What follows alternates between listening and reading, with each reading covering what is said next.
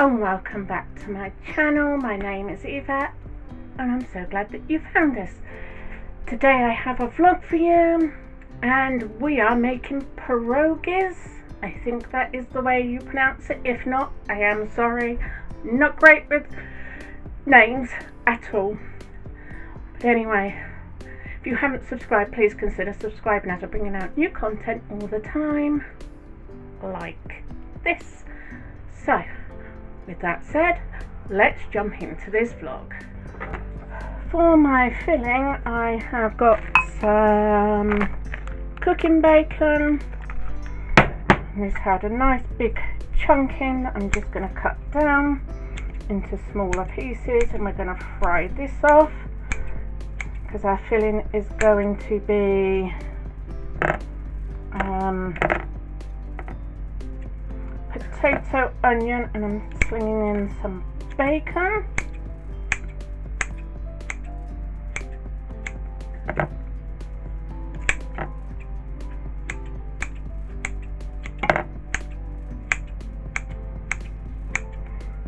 Get this cooking off.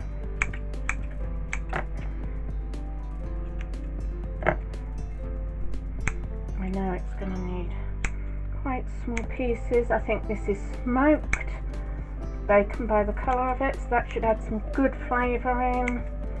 I'm using ingredients that I've got in, so it probably will not be a traditional pierogi, but I'm using what my my kids and that will love.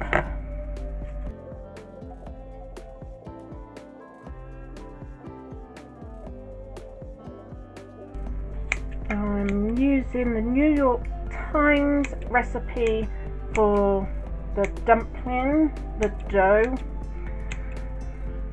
I'll link that down in the description below. Right, I'm going to get those on in a frying pan.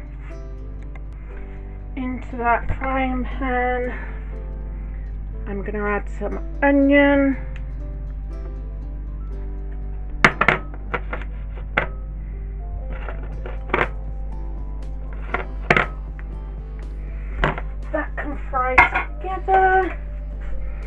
I just want this to cook down just a little.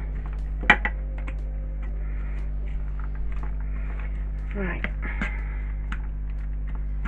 I'm Going to leave that there. Okay. In here I've got a pound of potatoes, believe it or not. I'm just going to cut them down and then I'm going to put them through a potato ricer. Okay.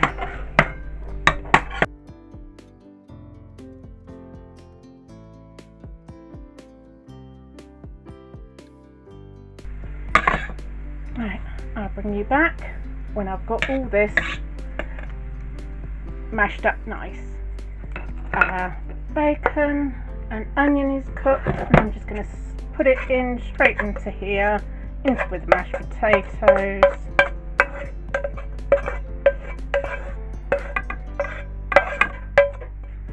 Into there. I'm going to put some butter.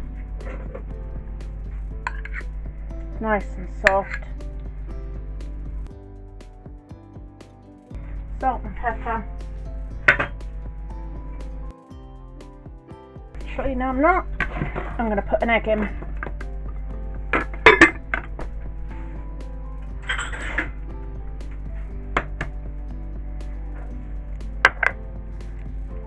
Put two eggs in. Um, One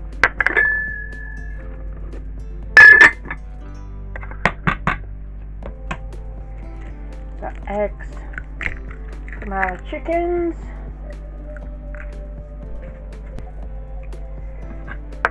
and that should act like a binder.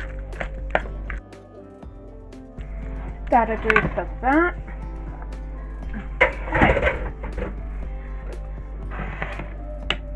And here I've got two cups of flour, and that's plain flour or all-purpose flour, teaspoon of salt. I'm gonna mix that. That first. Put egg in.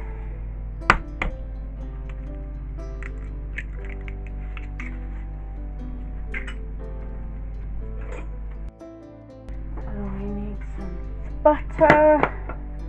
This is three tablespoons.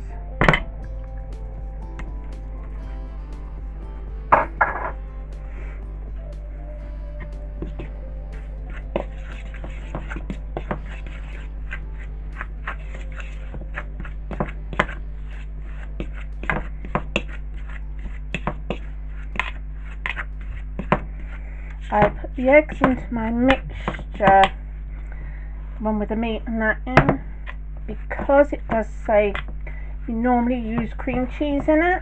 Also, the New York Times says, well, I'm not using cream cheese, so that's why I put in some butter and some eggs.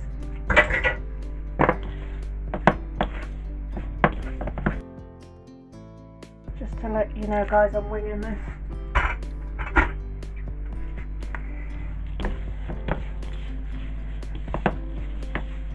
That was two quarter cups I put in here. Oh, there we are.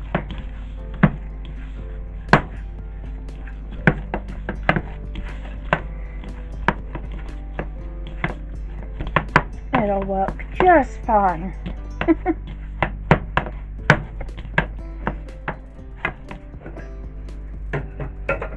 Let's get this onto a needed surface. It's a little sticky, that's okay. That's because I'm not using the proper measurements, but I'm sure it'll taste just as good. It says knead for five to seven minutes.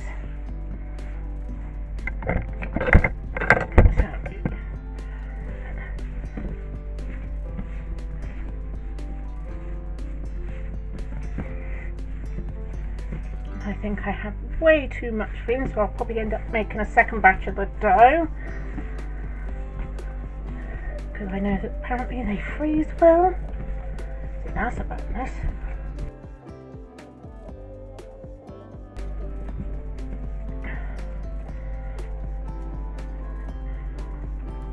Lovely dough. Put some over the top of that.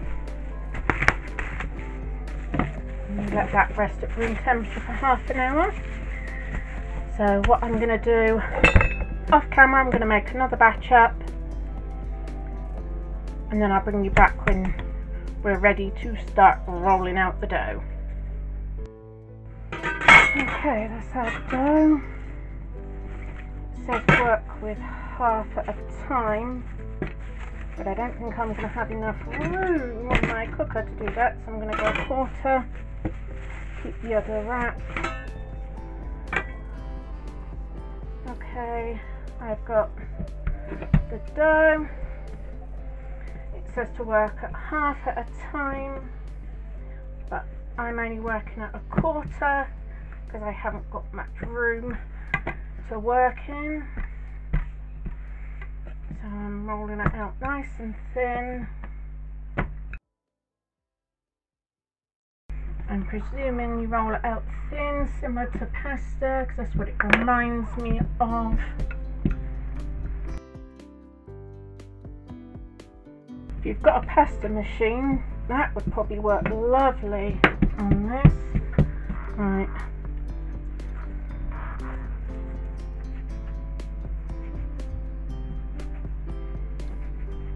I said I'm winging it really.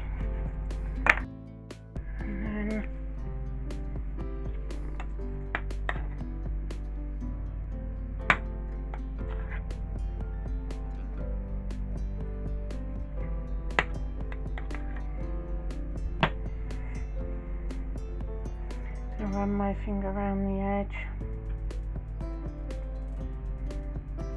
Actually, maybe a bit too much.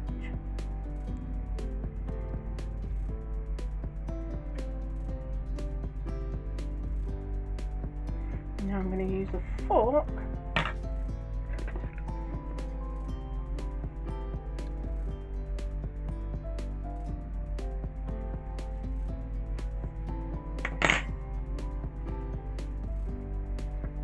we are. Onto a floured baking tray. Right.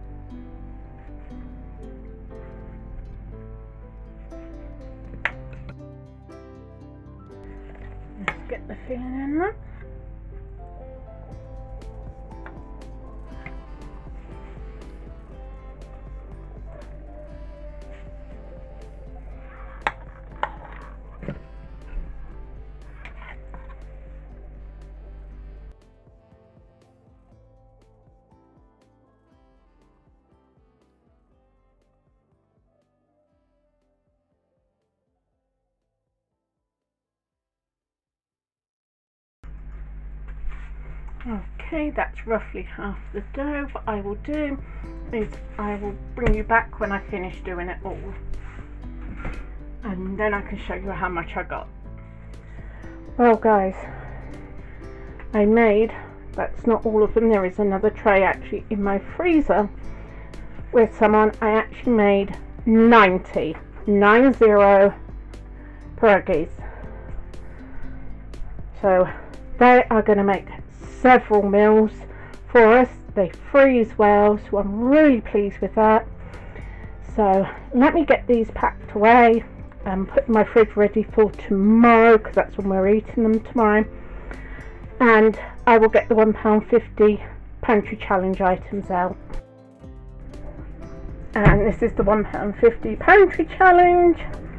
And this week we have Stockwell orange squash, we have golden vegetable savoury rice, a bar of chocolate, and that's Ms. Molly's milk chocolate, and to make up the odd pence what was left, which was 30 pence, I chose three drumstick sweets that my kids will enjoy at a later date when I finish doing the £1.50 pantry challenge for the year, which isn't quite yet. So that's what we've got. That's going in the box. And this is where I'll probably call the vlog to an end. Right guys, that's it for this vlog.